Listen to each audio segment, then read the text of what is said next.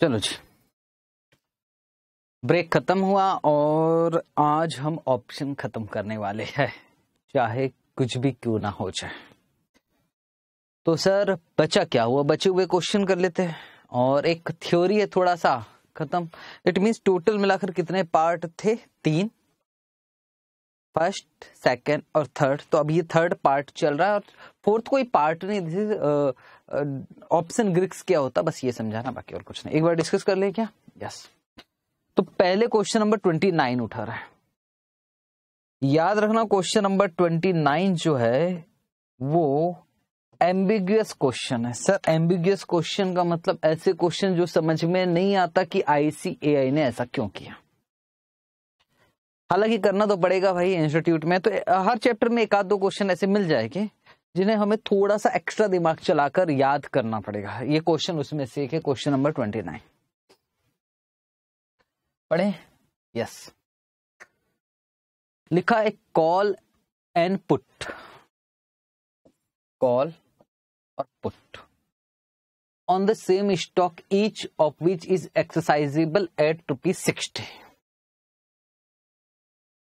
इसका मतलब exercise price दिया है साठ रुपए। ठीक मार्केट प्राइस दिया है फिफ्टी फाइव ठीक है। प्रीमियम कॉल का प्रीमियम दिया है नौ और पुट का प्रीमियम दिया है एक रुपए। ये कोई ऑप्शन स्ट्रेटेजी का क्वेश्चन नहीं है एक्चुअली ये क्वेश्चन ही अजीब सा तो जो ऑप्शन स्ट्रेटेजी अगर अभी आपके मन में चल रहा तो उसको एक मिनट के लिए साइड कीजिए। ये क्वेश्चन ऑप्शन स्ट्रेटेजी का नहीं है, कुछ और क्वेश्चन है, बस आपको ध्यान से समझना कैलकुलेट द एक्सपायरेशन डेट। मतलब सर, मैच्योरिटी डेट को आप बताइए कैश फ्लो, आप बताइए इन्वेस्टमेंट वैल्यू, आप बताइए नेट प्रॉफिट। तीन चीज़ पूछा है। कैश फ्लो, इन्वेस्टमेंट वैल्यू और नेट प्रॉफिट। आपको इसमें से मालूम है कौन सी चीज़ आती है? सर नेट प्रॉफिट मतलब प्रॉफिट लॉस ना हाँ सर, वो तो हम कैलकुलेट कर लेंगे। और, सर प्राइस क्या होगा? बोले प्राइस तो बाद में बताएँगे। पहले हम है कौन? हमने कॉल खरीदा है कि पुट खरीदा है, कि हमने कॉल राइट किया है, कि पुट राइट किया। अब आखिर हमने किया क्या है? वो उसने यहाँ बताया मान लो कि आपने एक कॉल ऑप्शन बाई किया होता तो ये क्या होता, ये क्या होता, ये क्या होता? अगर आपने एक कॉल ऑप्शन राइट किया होता तो ये क्या होता, ये क्या होता, ये क्या होता? ठीक है? और फिर पुट बाई किया होता या पुट राइट किया होता, अगर मार्केट प्राइस पचास होता, पचपन होता, साठ होता, पैंसठ होता, सत्तर होता। और ये क्वेश्चन प्रैक्टिस मैनुअल में है। तो प्रैक्टिस मैनुअल कौन सा वाला? प्रैक्टिस मैनुअल तो आप जब समझ रहे हो ओल्ड सिलेबस वाला। करना है, छोड़ोगे नहीं। इन कैश फ्लो क्या है? कैश फ्लो में डिस्कस करते सबसे पहले हम क्या करेंगे? कैलकुलेशन ऑफ़ कैश फ्लो पहले लिख तो लेते टेबल बना लेते। प्राइस एक, दो, तीन, चार, ऐसे आ जाएगा प्राइस ऐसे लिख देंगे। और यहाँ वन ठीक सर करके देखते हैं। Yes point number one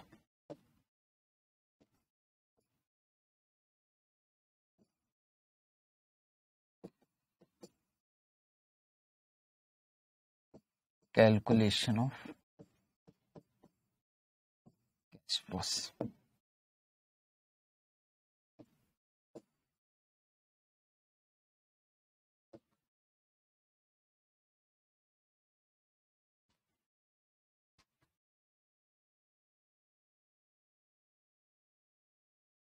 Market price कितना है एक दो तीन चार पाँच पाँच एक दो, तीन, चार, पाँच। प्राइस कितना कितना दिया fifty fifty five sixty sixty five अगर आपने किया है, क्या किया है? अगर आपने किया buy one call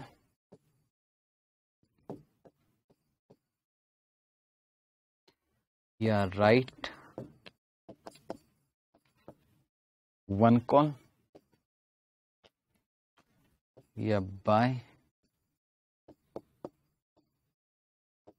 one put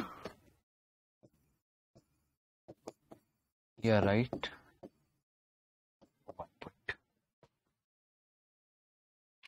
क्या निकालना है? कैश फ्लो कैश फ्लो क्या है? Net pay off gross pay off है कि नहीं ना भाई? वैसे तो मेरे हिसाब से ग्रॉस पे ऑफ़ ही कैश फ्लो है। पर मेरा हिसाब नहीं चलेगा। आईसीएआई ने क्या सॉल्व किया? ये चलेगा। अब सुना उनका क्या कहना है? कॉल ऑप्शन का मीनिंग क्या होता है? सर कॉल ऑप्शन का आ, सर कौन सा वाला मीनिंग बुक वाला। राइट टू बाय हम शेयर खरीदेंगे। किससे खरीदेंगे? स्टॉक एक्सचेंज से। कब खरीदेंगे?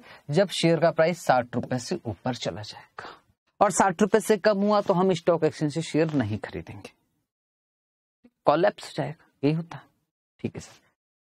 तो बोलो, अगर शेयर का प्राइस पचास हुआ तो हम नहीं खरीदेंगे, सर। बुक का मीनिंग, यहाँ बुक का मीनिंग चलेगा। आप समझने की कोशिश करो। सर फिफ्टी फाइव हुआ तो नहीं खरीदेंगे। सर मैं बात आज की नहीं कर रहा हूँ। आज तो प्रीमियम देना, उसको छोड़ो। मैच्योरिटी को कैश फ्लो क्या होगा? प्रीमियम की बात छोड़ो मैच्योरिटी को कैश फ्लो क्या होगा? तो सर, पचास रुपए है तो नहीं खरीदेंगे, पचपन है तो भी नहीं खरीदेंगे, साठ है तो भी नहीं खरीदेंगे, लेकिन सिक्सटी फाइव है तो क्या हमें शेयर खरीदना पड़ेगा? हाँ हमारे जेब से कितना जाएगा? सर, हमारे जेब से जाएगा साठ रुपए। क्योंकि सामने वाले से तो हम साठ के ही खरीदेंगे। तो कैश आउटफ्लो हो गया साठ। और अगर सत्तर का हुआ तो भी सर, हमारे जेब से तो साठ रुपए ही जाएगा ना। सर, जो साठ का खरीदोगे, पैसा दिया, खरीदा, उसको मार्केट में भी तो बेचोगे, वो क्यों बोल रहे हो? कैश इनफ्लो भी तो है। अगर कैश इनफ्लो भी है, पैंसठ रुपए कैश इनफ्लो है तो अल्टीमेटली तो पाँच रुपए का कैश इनफ्लो है ना, ग्रॉस पे ऑफ़। हाँ मैं कैश फ्लो का मतलब ग्रॉस पे ऑफ़ ही मानता। लेकिन यहाँ आईसीएआई ने वन साइड लिया है। बोले आपने खरीदने की बात कर रहे हो, राइट टू बाय तो आप खरीदो, आपको मार्केट में नहीं बेचना है। तो ये क्या तरीका हुआ? अब मैं कुछ नहीं कर सकता इसमें। उसने सिर्फ़ कहा कि जो हमारे खरीदा है स्टॉक एक्सचेंज से, बस वही वाला कैश फ्लो बताइए। वही वाला कैश फ्लो यहाँ कंसिडर किया। तो कुछ कर सकते हैं क्या? नहीं। तो क्या यहाँ हम शेयर खरीदेंगे, यहाँ खरीदेंगे यहाँ खरीदेंगे? नहीं। यहाँ खरीदेंगे यस कितना जाएगा? साठ। यहाँ खरीदेंगे यस कितना जाएगा? साठ। अगर आपने क्या किया राइट किया वन कॉल ऑप्शन तो लिख लें। सर, ये तो रटने वाला क्वेश्चन है। तुम्हें तो पहले ही बोला। यहाँ कितना जाएगा? साठ। और यहाँ कितना जाएगा? साठ। कैश आउटफ्लो और जिसने राइट किया है वन कॉल राइट का मतलब समझ रहे हो ना? सामने वाला आएगा तो मैं बेचूँगा शेयर मैं बेचूँगा तो मेरे पास पैसा आएगा। पैसा कितना आएगा? तो सर, ये तो सिंपल हो गया। यहाँ कुछ नहीं आएगा, यहाँ क्योंकि सामने वाला खरीदने ही नहीं आएगा। यहाँ आएगा और वो मुझको पैसे देगा और मुझसे शेयर ले जाएगा तो सर, यहाँ हमारे पास साठ रुपए आ जाएगा। ठीक है। Buy one put. अगर पुट होता तो क्या होता? ठीक, अब सोचते पुट। सर, पुट होता तो पुट का मतलब क्या होता है? राइट टू सेल हम बेच देंगे। हम बेच देंगे। कितने का बेच देंगे? साठ रुपए का। ठीक है, अब सोचते थोड़ा सा। सर, अगर रेट पचास हुआ, कम हुआ तो भाई हम बेच देंगे। और बेच देंगे स्टॉक एक्सचेंज को। तो स्टॉक एक्सचेंज से तो हमें साठ मिल जाएगा ना? सर, पचास में खरीद का, साठ का बेचोगे ना? बेटे मैंने कहा, मार्केट वाला ले ही नहीं रहा वो कैश फ्लो मैं क्या कर? लू सिर्फ़ स्टॉक एक्सचेंज के साथ बताओ क्या होगा? तो पचपन हुआ तो भी हम साठ में बेचेंगे। और साठ हुआ तो नहीं बेचेंगे। पैंसठ में भी नहीं बेचेंगे, सत्तर में। बस तो सिक्सटी सिक्सटी इस तरफ़ आएगा। पुट ऑप्शन में। अगर आपने क्या किया है बाई किया put sorry sixty sixty zero zero zero अच्छा नहीं लग रहा है। और कुछ कर नहीं सकते ना यार, ऐसे करना पड़ेगा। और सर, क्या write one put write one put का मतलब समझना पड़ेगा ना यार? सामने वाला बेचेगा मतलब मैं खरीदूँगा मैं खरीदूँगा कब? जब सामने वाला बेचेगा मतलब हमारे जेब से जाएगा साठ।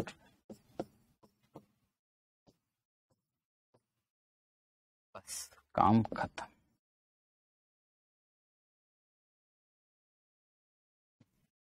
ठीक है? फटाफट से बना लो बेटे।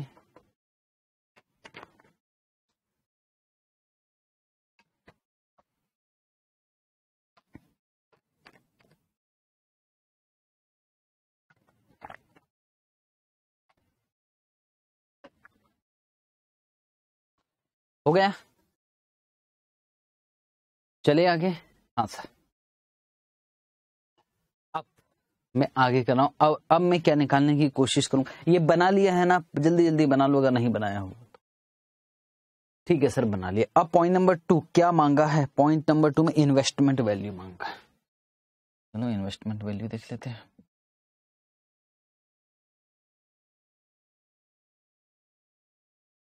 तो यही वाला रफ कर देता हूँ।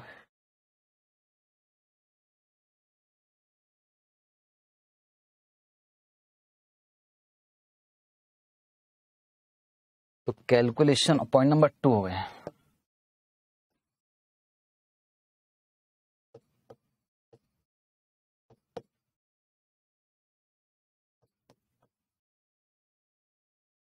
इन्वेस्टमेंट वैल्यू ठीक है? सर इन्वेस्टमेंट वैल्यू क्या है? इन्वेस्टमेंट वैल्यू अगर देखा जाए इतना ध्यान से, उन्होंने क्या समझाने की कोशिश किया?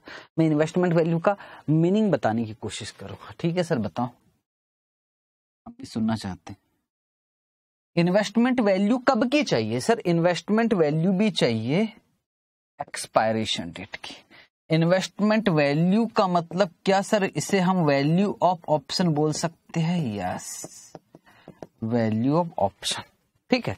और समझने की कोशिश करते हैं। मान लो मैंने कॉल ऑप्शन बाई किया। कॉल ऑप्शन का एक्सरसाइज प्राइस कितना सर साठ रुपए। साठ से ऊपर जाएगा तो एक्सरसाइज क्या यहाँ मेरे मेरे पास रिसिप्ट है? मान लो मेरे पास रिसिप्ट है। किस चीज़ का ऑप्शन रखा हुआ मेरे पास? ऑप्शन का रिसिप्ट इसकी वैल्यू है भी कि नहीं? मैंने जो इन्वेस्टमेंट कर रखा, मैंने जो कॉल ऑप्शन खरीद के रखा, इसकी कुछ वैल्यू है भी कि नहीं? बस, मुझे ये पता करना और मुझे ये पता कहाँ करना है?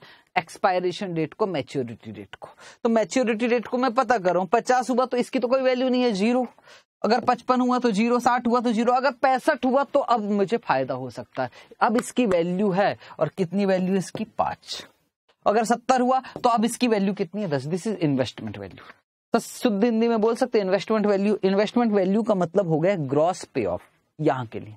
हालाँकि ऐसा होता नहीं, सिर्फ़ इसी क्वेश्चन के लिए इन्वेस्टमेंट वैल्यू मतलब ग्रॉस पे ऑफ़ अच्छा सर, ऐसे याद कर लेना ग्रॉस पे ऑफ़ तो ग्रॉस पे ऑफ़ तो सर हमको निकालना आता है, मैं जानता हूँ अच्छे से आता है करके। करे चलो कॉल ऑप्शन कितना सिक्सटी से ऊपर एक्सरसाइज ज़ीरो ज़ीरो ज़ीरो पाँच और दस। और अगर आपने राइट किया है तो यहाँ सामने वाला एक्सरसाइज नहीं करेगा, यहाँ एक्सरसाइज करेगा तो मुझे पाँच रुपए देना पड़ेगा और दस रुपए देना पड़ेगा। ठीक है ना? सामने वाला एक्सरसाइज करेगा तो मेरा लॉस भाई, उसको तो मैं ही दे रहा हूँ ना ग्रॉस पे ऑफ़ और पुट का मतलब सर सिक्सटी से नीचे। यहाँ एक्सरसाइज होगा कि यस तो sixty minus fifty ten five zero zero zero और यहाँ में इसके लिए कितना हो जाएगा? Ten five zero zero zero खत्म। ठीक है। तो मैंने कहा था ये क्वेश्चन थोड़ा सा एम्बिगस है। ये भी एक पॉइंट बाकी प्रॉफिट लॉस प्रॉफिट और लॉस आप निकाल लेते हो, पर फिर भी मैं निकालना। ये लिख लिया है क्या? जल्दी जल्दी लिखो।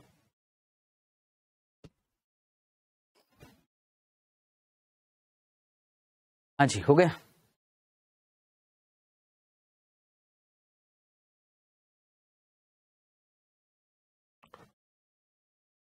अब पॉइंट नंबर थ्री लिखोगे।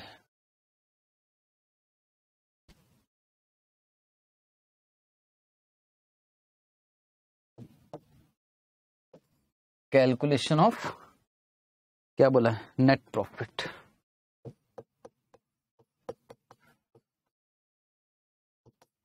फिर से टेबल बना लीजिए वैसे। ही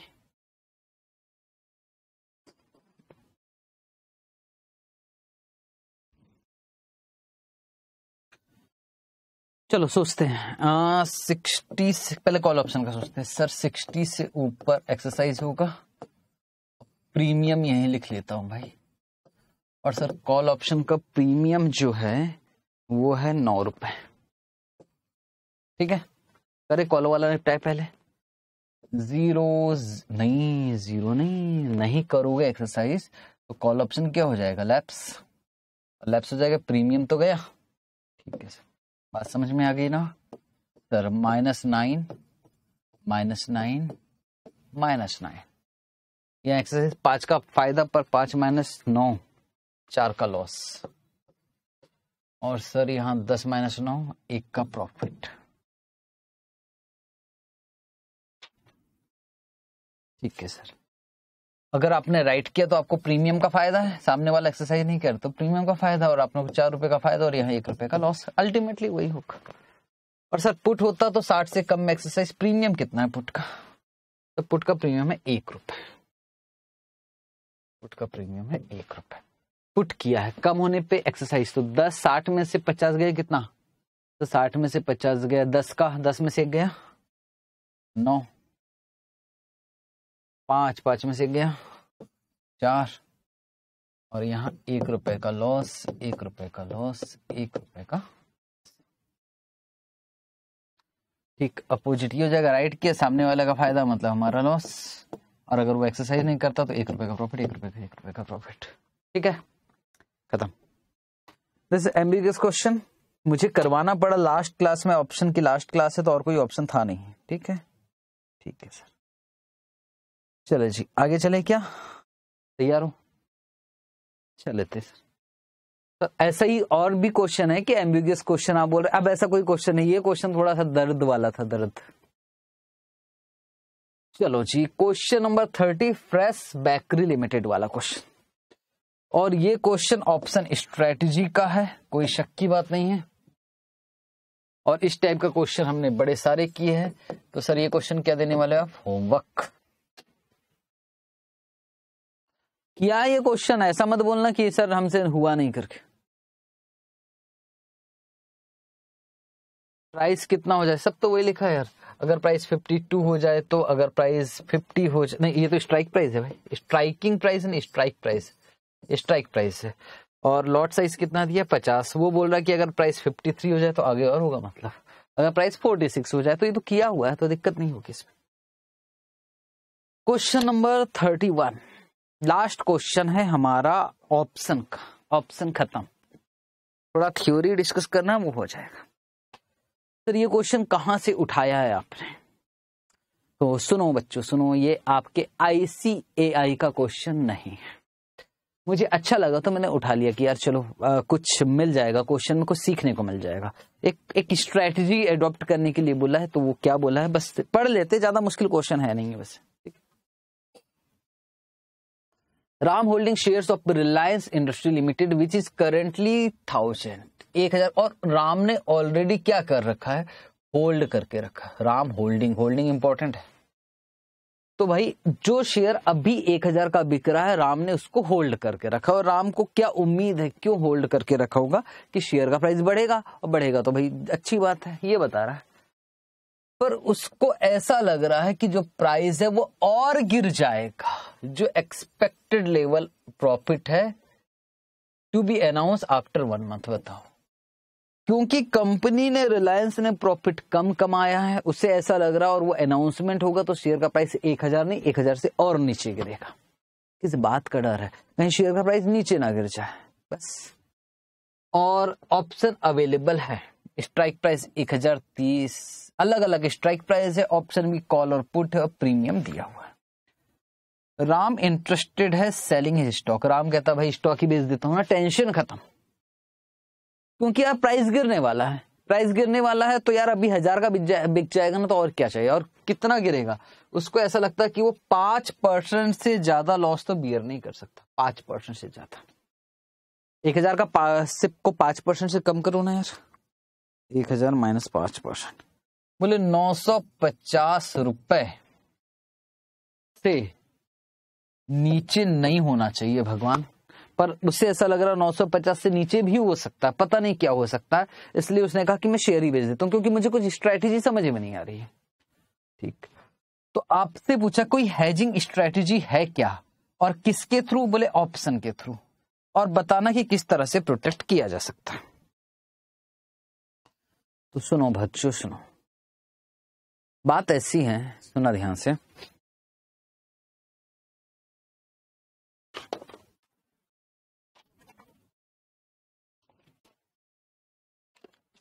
आखिरी क्वेश्चन है, सुनोगे। कि 925 किस बात का डर? कहीं सर शेयर कम न हो जाए। हैजिंग का मतलब है जिस बात का डर, उसी में शर्त लगाते। वही चीज़ खरीद लेते ना। एक ऑप्शन होता है, किस बात का डर है, कहीं प्राइस कम ना हो जाए तो चलो एक काम करते हैं पुट ऑप्शन हम खरीद लेते हैं। पुट ऑप्शन खरीद लेते हैं। और कौन सा वाला? 950 वाला। 950 वाला ये दिख रहा है कि 950 से कम जाएगा तो हम पुट ऑप्शन एक्सरसाइज करेंगे। हमको आठ रुपए प्रीमियम देना पड़ेगा। ठीक? अब अगर शेयर का प्राइस कम भी हो जाता 800 भी हो जाता है 800 में बेचना पड़ेगा। ठीक है, कोई दिक्कत नहीं 800 भी। पर पुट भी तो एक्सरसाइज कर लेंगे। और पुट से हमको उतने का फ़ायदा हो जाएगा। 950 माइनस मतलब आपका किसी भी हालत में शेयर 950 से कम का बिकेगा नहीं, या दूसरी मीनिंग समझ लो। पुट ऑप्शन का मतलब क्या होता है? राइट टू सेल मतलब सर जो शेयर मैंने होल्ड कर रखा है, उसको मैं किसी भी हालत में 950 का बेच ही दूँगा। बस, यही है हेजिंग स्ट्रेटेजी और अगर सर बढ़ गया तो 1500 हो गया तो 1500 का बेचूँगा 950 लेफ़्ट उसकी वजह से फ़ायदा क्या होगा? फ़ायदा ये होगा कि 950 से कम मेरा शेयर बिकेगा नहीं किसी भी हालत में। हाँ हालाँकि इस हेजिंग का कॉस्ट है आठ रुपए।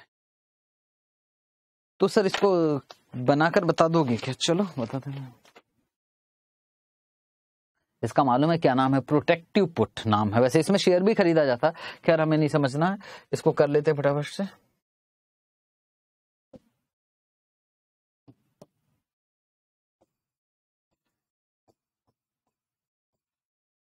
In order to hatch. We buy one put option at exercise price rupees 950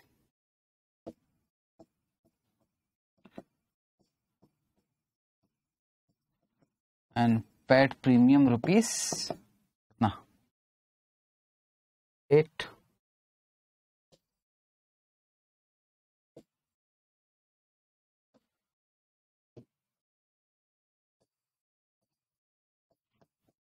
suppose price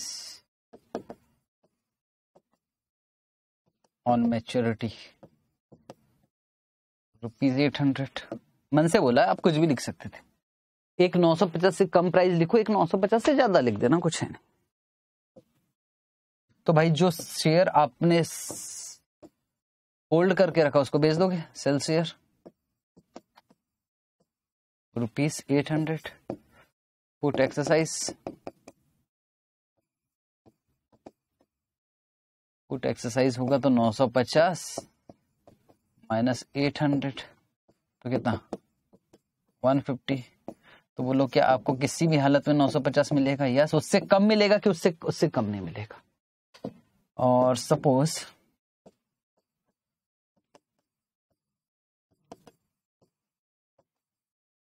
price on maturity 1200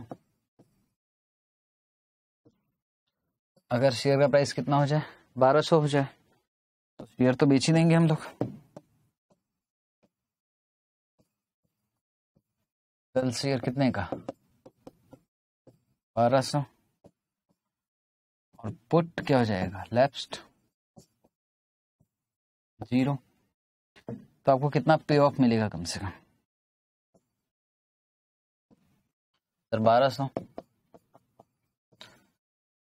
तो इन एनी केस अगर प्राइस कम भी होता तो आपका शेयर कितने का? 950 का। बिकेगा ही बिकेगा no doubt cost of this strategy rupees eight you have to bear ठीक है, आठ रुपये आपको बियर करना। सर एग्ज़ाम में आया कि क्वेश्चन नहीं आया है। सर क्यों? बस मुझे अच्छा लगा तो मैंने डाल दिया। आप छोड़ सकते हैं इसको। ये क्वेश्चन आपके काम का नहीं है। आई सी आई का तो क्वेश्चन है नहीं। तो ऑप्शन के सारे क्वेश्चंस हमारे खत्म हो चुके हैं। अगला टॉपिक करेंगे हम फ्यूचर पर ऑप्शन में पुराने जमाने में ओल्ड सिलेबस में एक थ्योरी आया करता था। वो थ्योरी आपसे डिस्कस करना। वैसे क्लास ओवर कर सकते हो कि सर? आधा घंटा भी नहीं हुआ। अभी क्लास ओवर करेंगे, आज जल्दी क्लास ओवर करेंगे, ठीक है? ठीक है सर। तो बात इतनी सी है, बात सुनोगे ध्यान से, कि ऑप्शन में पुराने जमाने में एक थ्योरी आता। पुराने जमाने में मतलब ओल्ड सिलेबस में थ्योरी आता था। ऑप्शन से। फ्यूचर से कहीं से भी थ्योरी आ सकता था, पर एक थ्योरी जो ऑप्शन का था, वो अल्टीमेट इंपॉर्टेंट था। न्यू सिलेबस में क्या हो गया? सर न्यू सिलेबस में जितना भी थ्योरी आता, वो उन्हीं तीन चार चैप्टर से आता, चार चैप्टर से। इससे थ्योरी नहीं आता ना ऑप्शन से। या फिर मैं कहूँ, बीस नंबर का का है थ्योरी तो सोलह नंबर वहीं से आएगा। चार नंबर पता नहीं फॉरेक्स से दे दे कि डेरिवेटिव से दे दे। पर एक थ्योरी है जो इंपॉर्टेंट है अगर आपके पास टाइम है तो लास्ट में कर लेना, देख लेना, ठीक आ सकता है अगर ऑप्शन से पूछेगा तो। पर फिर भी अगर टाइम नहीं है तो मत करना मत करना। आने की प्रोबेबिलिटी ना के बराबर है। सारा थ्योरी कहाँ से आएगा? उन्हीं चार चैप्टर से आएगा। और उस थ्योरी का नाम है, किधर गया भाई? Option Greeks option Greeks sir, ये क्या होता है? समझाता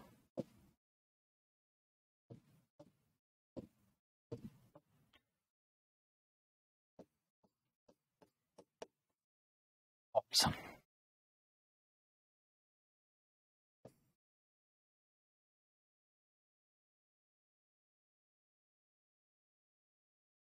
चार चीज़ों पे डिपेंड करता है।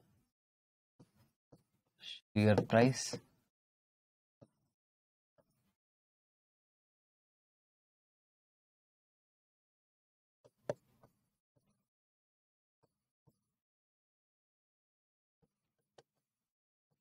standard deviation share price को एस बोल दूँ? यस टाइम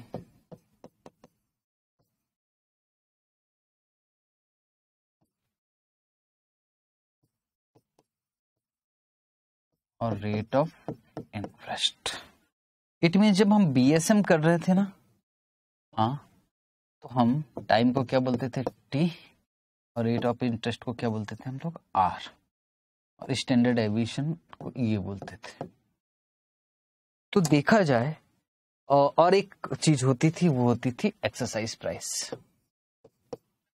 सवाल ये है कि कॉल ऑप्शन या पुट ऑप्शन जो भी ऑप्शन है, उसकी वैल्यू कौन कौन से फैक्टर्स पर डिपेंड करता है?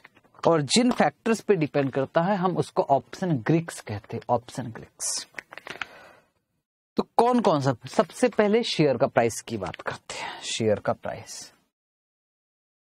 इसका मतलब जैसे जैसे शेयर का प्राइस बढ़ता है, कॉल ऑप्शन में हम भगवान से क्या प्रार्थना करते हैं? सर, भगवान से ये प्रार्थना करते हैं कि शेयर का प्राइस बढ़ जाए। तो जैसे जैसे शेयर का प्राइस बढ़ता है, कॉल ऑप्शन का वैल्यू भी बढ़ता है। और जैसे जैसे शेयर का प्राइस गिरता है कॉल ऑप्शन का वैल्यू गिरता पर पुट ऑप्शन का बढ़ता, अपोजिट होता, पुट ऑप्शन में जितना होता तो कहीं ना कहीं शेयर की प्राइस, हम जब भी ऑप्शन खरीदते हैं और इसकी वैल्यू इसकी वैल्यू के लिए हम हमेशा कॉल ऑप्शन खरीद रहे हैं तो कहीं ना कहीं हम शेयर का भाव देखते हैं कि यार शेयर का प्राइस क्या है? अगर शेयर का प्राइस बढ़ेगा, या आपको क्या लग रहा है कि रिलायंस का शेयर का प्राइस क्या होना है? अगर शेयर का प्राइस में चेंज होने वाला है तो पक्का पक्का किसमें चेंज होगा? ऑप्शन में चेंज होगा ऑप्शन की वैल्यू में चेंज होगा और हम यही निकालने की कोशिश करते हैं। हम क्या करते हैं? हम ये सोचते हैं कि शेयर के प्राइस हो शेयर का प्राइस चेंज होने से ऑप्शन का वैल्यू भी चेंज होगा, पर कितने गुना चेंज होगा? डेल्टा हाँ डेल्टा याद है। हाँ सर हाँ सर शेयर अगर एक रुपए से बढ़ा तो कॉल ऑप्शन पचास पैसे से बढ़ा। शेयर अगर एक रुपए से गिरा तो तो कॉल ऑप्शन पचास पैसे से गिरा। तो ये जो सेंसिटिविटी निकाल रहा है सेंसिटिविटी है? सेंसिटिविटी निकाल रहा है, इसी को आप बोलते हो और क्या बोलते हो? डेल्टा। अच्छा सर, इसको क्या मैं वैसे डेल्टा पहले भी समझा चुका हूँ आपको। डेल्टा। ग्रीक लेटर में लिखा रहता ना, डेल्टा गामा, ये ग्रीक्स लेटर है, इसलिए इसको ऑप्शन ग्रीक्स बोलते हैं। सर, शेयर का प्राइस चेंज होने से ऑप्शन के वैल्यू में जो चेंज होता है, वो कितने परसेंटेज से चेंज होता है, कितने टाइम्स में चेंज होता है, उसको बोला जाता है डेल्टा। मैं अभी और रीड करूँगा, टेंशन डेविएशन। बीएसएम में हम एज्यूम करते थे कि कोई चेंज नहीं होगा स्टैंडर्ड डेविएशन वगैरह में, पर ऐसा नहीं है। एक बार बताओ, आप ऑप्शन खरीदते हो तो आप क्या सोचते हो? फ्लक्चुएशन ज़्यादा होना चाहिए कि कम ज़्यादा? जितना ज़्यादा फ्लक्चुएशन होगा, उतना हमारा फ़ायदा। क्योंकि यार नीचे गया तो सिर्फ़ प्रीमियम जाएगा, ऊपर गया कॉल ऑप्शन की बात करो, ऊपर गया तो बहुत सारा मिलेगा, ना तो फ्लक्चुएशन बहुत ज़्यादा होना चाहिए। तो अगर अभी ऐसा है वॉलिटिलिटी वॉलिटिलिटी बोलते हैं। अगर अभी वॉलिटिलिटी पाँच परसेंट है डेविएशन स्टैंडर्ड डेविएशन वॉलिटिलिटी पाँच परसेंट है तो हो सकता ऑप्शन का वैल्यू पच्चीस रुपए होगा। पर अगर वॉलिटिलिटी अगले दिन दस परसेंट हो गया डेविएशन चेंज होता है। अगर डेविएशन और चेंज होगा तो ऑप्शन का वैल्यू भी बढ़ेगा। तो वॉलिटिलिटी के चेंज होने से ऑप्शन के वैल्यू में जो चेंज होता है वॉलिटिलिटी के चेंज होने से इसको वॉलिटिलिटी वॉलिटिलिटी वॉलिटिलिटी वॉलिटिलिटी के चेंज होने से ऑप्शन के वैल्यू में जो चेंज होता है उसे बोलते हैं V for vega delta vega V for volatility V for vega sir rate of interest rate of interest भी बड़ा काम का चीज़ है। रेट ऑफ़ इंटरेस्ट के चेंज होने से रेट ऑफ़ इंटरेस्ट चेंज होगा, दस परसेंट है तो बारह परसेंट हो जाएगा। तो रेट ऑफ़ इंटरेस्ट के चेंज होने से ऑप्शन के वैल्यू में जो चेंज होता है, उसे क्या बोलते हैं?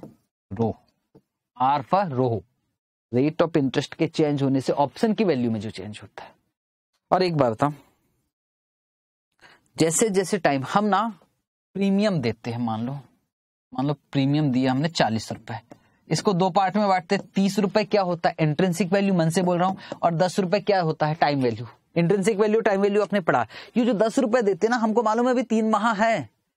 हमारे आज थोड़ी ना एक्सरसाइज कर रहे हैं, तीन माह है तो वो इस तीन महीने का दस रुपए देते हैं। एक्स्ट्रा कि तीन माह में कहीं भी एक्सरसाइज करेंगे। पर जैसे जैसे टाइम बीतते जाएगा जैसे जैसे टाइम बीतते जाएगा तो ये धीरे धीरे धीरे धीरे ये टाइम वैल्यू खत्म होते जाएगा और ये ज़ीरो हो जाएगा। तो टाइम के चेंज होने से ऑप्शन की वैल्यू में जो चेंज होता है, उसे क्या बोलते हैं? टाट इससे बोलते हैं थीटा अच्छा सर ठीक है? तो क्या क्या मैंने पढ़ा? ये सब पढ़ना है डेल्टा है, डेल्ट बहुत ठीक है, मैं इसको ना समराइज कर रहा हूँ एक्चुअली इसलिए। तो क्या आपको बातें समझ में आ गई? मैंने क्या क्या बात बोला? डेल्टा, उसके बाद वेगा, वॉलिटिलिटी, रो और एक क्या? थीटा। अच्छा एक बात और सुनो। बड़ी इंपॉर्टेंट बात है, मैं आपको बता रहा हूँ। अच्छा मैं आगे डिस्कस करूँ? वहाँ समझ में जाएगा? हाँ पहले पढ़ लेते। अभी मैंने आपको कितने फैक्टर बताए? टोटल मिलाकर पाँच फैक्टर है। उसमें से एक दो तीन चार चार फैक्टर सर एक्सरसाइज भी तो फैक्टर एक्सरसाइज के चेंज होने तो एक्सरसाइज प्राइस कभी चेंज नहीं होता। है एक्सरसाइज प्राइस आज डिसाइड कर लिया प्री डिटरमाइंड उसके चेंज होने से तो बेकार की बात है। तो एक्सरसाइज प्राइस की तो बात ही मत करो। तो, तो भी सर अभी कितने फैक्टर दिख रहा है? एक, दो, तीन, चार फैक्टर अभी भी एक फैक्टर बाकी है जिसका नाम होता है गामा। वो गामा भी आपको समझाना है। तो अभी आपको क्या समझ में आया? डेल्टा समझ में आ गया, वेगा, थीटा और रो समझ में आ गया। एक बार पढ़ते, तब बात समझ में आएगी। देखा price of option depends upon the following factors strike price exercise price time volatility and rate of interest among these factors exercise price is constant ठीक है जी? एक्सरसाइज प्राइस कांस्टेंट है तो उसको तो रहने ही दो। रिमेनिंग फैक्टर में change option price will change due to change in this factor we wish to carry out sensitivity analysis sensitivity analysis मतलब क्या हुआ? मतलब ये हुआ rate of change in option option के रेट में चेंज होता ऑप्शन प्राइस में जो change with respect to each factor keeping other factor constant इसका मतलब एक समय पे एक ही फैक्टर चेंज बाकी फैक्टर मान लेंगे एज्यूम कर लेंगे कि कांस्टेंट रहेगा करके। This rate of change have been assign in Greek letter इसलिए हम उसको ऑप्शन ग्रीक से बोलते ठीक है? इट मीन्स हमारे लिए एक्सरसाइज प्राइस का कोई यूज़ नहीं है। वो वो कोई फैक्टर नहीं माना जाए। ठीक है। सर एक बात बताओ एक्सरसाइज प्राइस ज़्यादा रहेगा तो प्रीमियम ज़्यादा वो बेटा, वो तो बिगनिंग की मैं बात कर रहा हूँ जब आप ऑप्शन खरीद रहे हो, वो एक बार खरीद लिया, उसके बाद आपका काम खत्म हो गया। फिर तो चेंज नहीं होगा, फिर वो हमारे लिए, वो फैक्टर हमारे काम का नहीं है। वो फैक्टर कब काम का है? जब आप ऑप्शन खरीद रहे हो, तब का है बस। पढ़ते हैं, delta. Delta means rate of change in option price with respect to stock price stock price के चेंज होने से, ठीक है। सिंस कॉल इज़ बुल्स ठीक है। कॉल इज़ बुलिस और पुट इज़ बेरिश मतलब प्राइस के बढ़ने से कॉल ऑप्शन का पॉजिटिव डेल्टा होगा और पुट ऑप्शन का नेगेटिव डेल्टा होगा, कोई बात ही नहीं। डेल्टा पे शॉर्ट नोट आ सकता है कि डेल्टा के विषय में बताओ।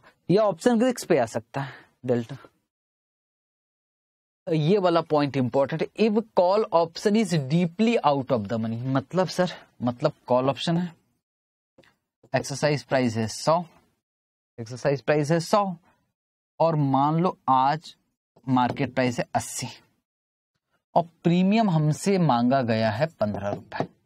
क्या call option out of the money है? यस और ज़बरदस्त आउट ऑफ़ द मनी है। अगर ये बढ़ गया 80 से बयासी भी हो गया तो प्रीमियम पे कोई फ़र्क नहीं पड़ेगा।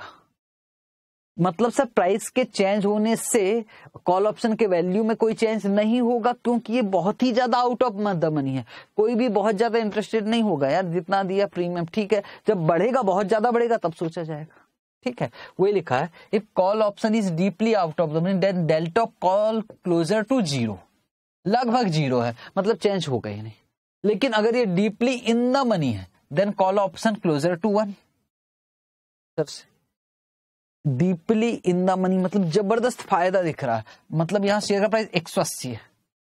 एक सौ अस्सी। और आपसे प्रीमियम कितना मांगा गया? बयासी रुपए। मन से बोला बयासी। अब होता क्या बेटे, ये अगर दो रुपए से बढ़ेगा ना तो ये भी दो रुपए से बढ़ता है। क्योंकि ये लगभग, ये बहुत ज़्यादा गैप हो गया ना एक्चुअली खैर, इतना बहुत ज़्यादा डिटेल समझ, में समझाना पड़ेगा और इतना डिटेल इस थ्योरी के लिए हम क्यों दें? ठीक? अभी कॉल ऑप्शन डेल्टा का मीनिंग अगर आप थोड़ा बहुत भी लिख देते हो तो चल जाएगा। ठीक है सर, ये लैंग्वेज कहाँ की है? ये लैंग्वेज आपकी स्टडी मटेरियल की है, ठीक है जी? स्टडी मटेरियल में दिया हुआ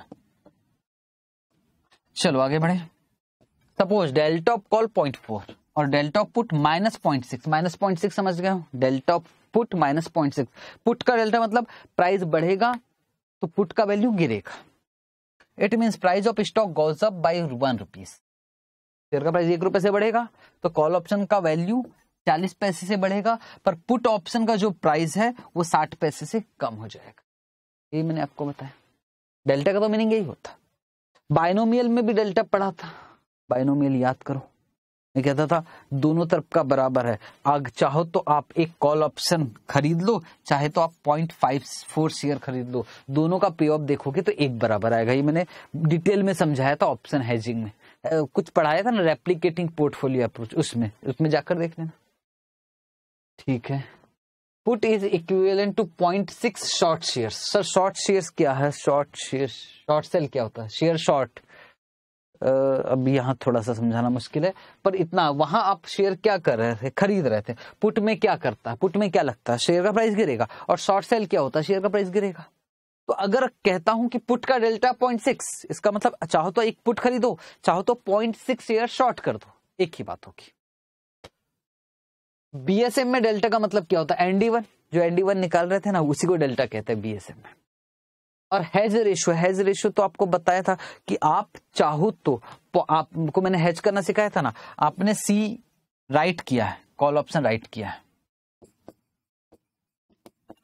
Write one call. तो उसको हैज़ करने के लिए क्या है? राइट कॉल कॉल राइट किया तो लॉस कब हो सकता है? जब प्राइस प्राइस बढ़ेगा। और जिस बात का डर है वही खरीद लो तो शेयर क्या कर लो? खरीद लो?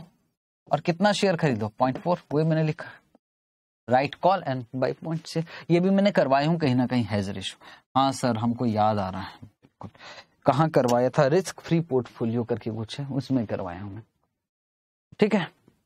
मेरी बेसिक बात यह है कि अगर डेल्टा के विषय में थ्योरी आए तो क्या दो चार लाइन लिख पाओगे? हाँ इतना टेक्निकल लैंग्वेज नहीं भी लिख पाओगे तो भी चलेगा। चार लाइन भी लिखोगे तो समझ पर डेल्टा के विषय में नहीं पूछेगा पूछेगा ऑप्शन ग्रिक्स चार नंबर का आएगा भाई ऑप्शन ग्रिक्स तो दो दो लाइन हर एक के विषय में लिख देना, ठीक? तो किसके विषय में पढ़ाया था? डेल्टा। गामा क्या है सर? गामा। गामा सुनना।